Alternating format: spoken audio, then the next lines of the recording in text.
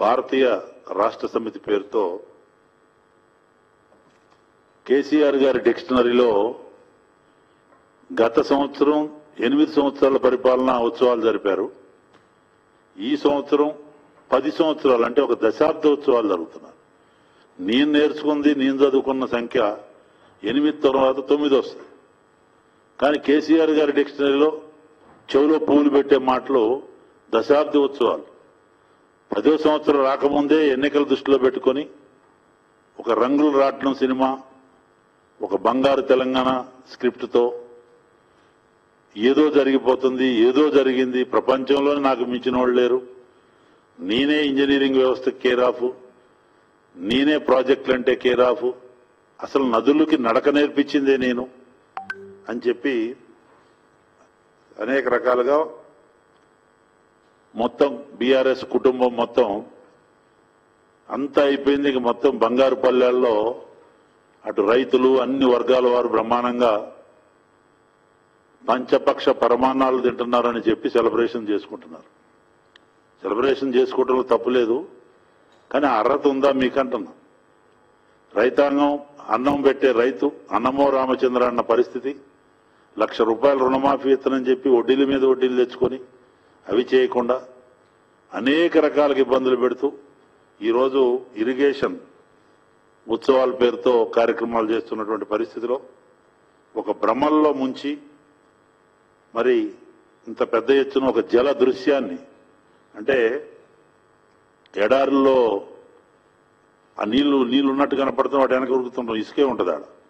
చాలా చోట్ల కూడా ఆ రకమైనటువంటి పరిస్థితి చేసినటువంటి ఈ దశాబ్ద ఉత్సవాల పేరుతో ఇరవై ఒక్క రోజుల సంబరాలు మరి ఎందుకు చేస్తున్నాడు? ఎట్లా ఈ యొక్క ఐదు లక్షల కోట్లు దరిదాపు నాలుగున్నర లక్షల కోట్ల పైచీలకు ఇప్పుడు ఐదు లక్షల కోట్ల దగ్గరలో వచ్చిన అప్పులు తెలంగాణ చేసి ప్రతి ఒక్కరి నెత్తిపోయిన లక్ష ఇరవై వేల అప్పు ఉన్నటువంటి నేపథ్యంలో ఇంత పెద్ద ఎత్తున అసలు దేశవ్యాప్తంగా అడ్వర్టైజ్మెంట్లు ఇచ్చి పెద్ద ఖర్చులు పెట్టి చేస్తే ఇది కేవలం ఎన్నికల సంవత్సరం దృష్టిలో పెట్టుకొని మళ్ళొకసారి మాయా మచ్చింద్ర టక్కుటమార గజకరణ గోకరణ విద్యల్లో భాగమే.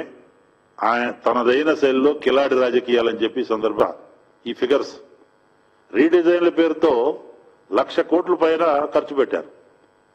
ఏందయా సాధించిందంటే విద్యుత్ ఛార్జీలు ఒక్క విద్యుత్ ఛార్జీలు ఏటా ఎనిమిది వేల ఆరు వందల డెబ్బై ఏడు కోట్లు విద్యుత్ ఛార్జీలు పడుతున్నాయి దాని సబ్జెక్టులో.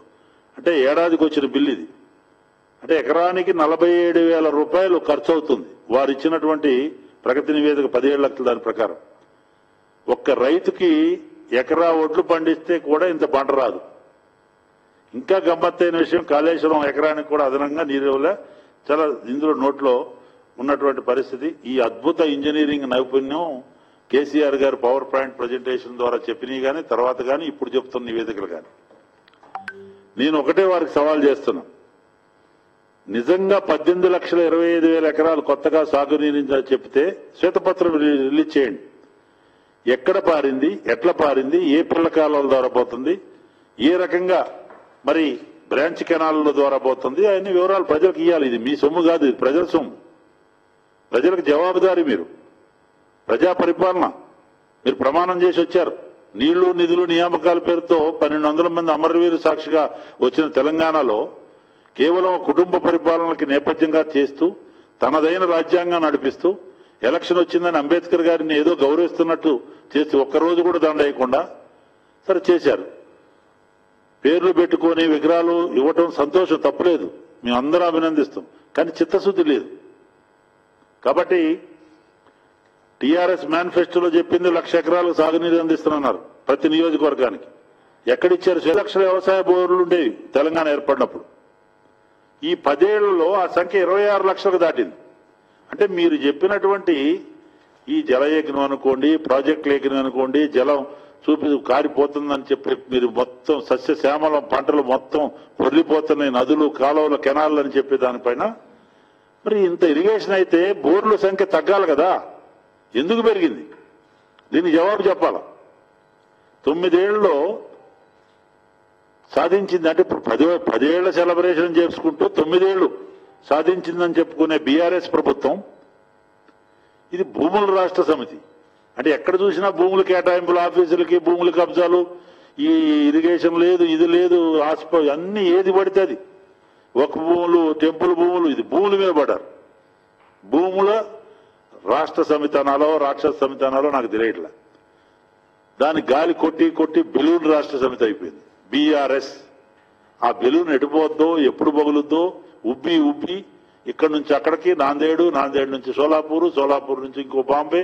ఈ మొత్తం హద్దులు దాటిపోతుంది బీఆర్ఎస్ బెలూన్ ఆ బెలూన్ రాజకీయాలు పక్కన పెట్టి ఇప్పుడు మేము ఒక రెస్పాన్సిబుల్ సిటిజన్స్గా రాష్ట్రానికి రాష్ట్రం ఇచ్చిన దాంట్లో ప్రధాన పాత్ర వహించినటువంటి చేయూతనిచ్చినటువంటి పార్టీ కార్యకర్తగా భారతీయ జనతా పార్టీ మిమ్మల్ని మేము డిమాండ్ చేసేది మేము ఫిగర్స్ అండ్ ఫ్యాక్ట్స్ మీకు చెప్తాను.